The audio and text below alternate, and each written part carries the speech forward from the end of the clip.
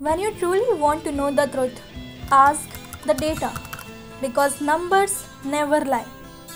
And when you talk about data and statistics, one great personality always stands out Prasant Chandra Mahalanobis. He was not just a statistician, he was a visionary. He invented the Mahalanobis distance, which is still used in data science today. He was the member of the first Planning Commission of India and helped formulate the second five year plan emphasizing industrial development. He designed large scale surveys to collect real, meaningful data and did important work in anthropometry. His ideas helped India grow with the power of data.